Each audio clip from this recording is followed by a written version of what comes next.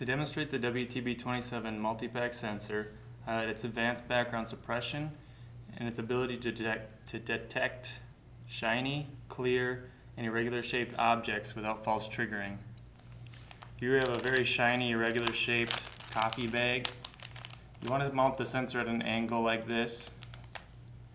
And try to find a, a difficult spot on there. Press the minus and plus buttons until the indicator light flashes. Now it's been taught. You can see that the sensor does not false trigger or double trigger anywhere on the bag. You can also use this sensor with objects such as bubble wrap, uh, cases of water, uh, anything that has odd shapes, and even it can even be transparent.